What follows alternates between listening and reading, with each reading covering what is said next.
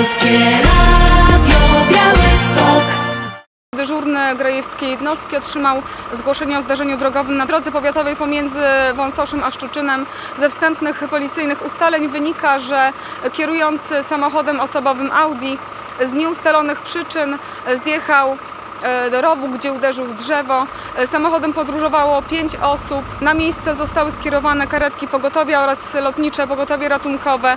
Dwie osoby zostały przetransportowane śmigłowcem do szpitala, jedna karetką. E, Jednej osobie udzielono pomocy na miejscu, natomiast e, piąty mężczyzna z nieustalonych przyczyn oddalił się z miejsca zdarzenia.